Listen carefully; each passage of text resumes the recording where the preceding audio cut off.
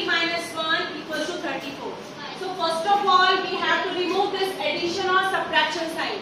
Can you see addition subtraction sign? Yes, ma'am. It is between this number and this number.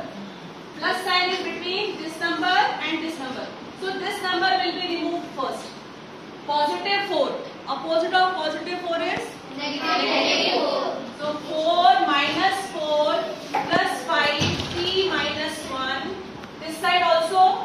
here I had done minus 4. So that side also minus 4. This will be cancelled. 5t minus 1 equals to 30. Now I want to remove this number because here we have multiplication sign between 5 and this bracket.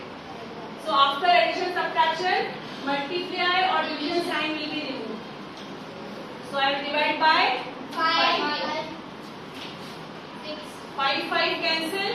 t minus 1 equals to 6. Now I want to remove this minus 1. Plus 1. Plus 1. Opposite of minus 1 is plus 1 here, plus 1 is right side. So here this cancelled. t equals to 7 is the. By the same way you can do rest of the questions.